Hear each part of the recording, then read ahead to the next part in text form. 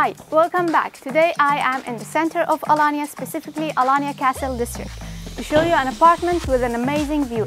So let's get started.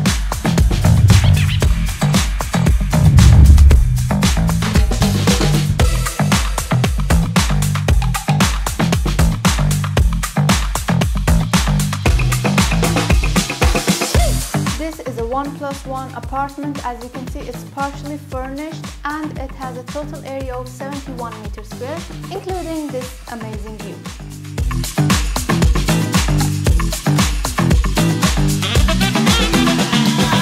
We've got in total 6 apartments in this building and each apartment has this panoramic, amazing panoramic view.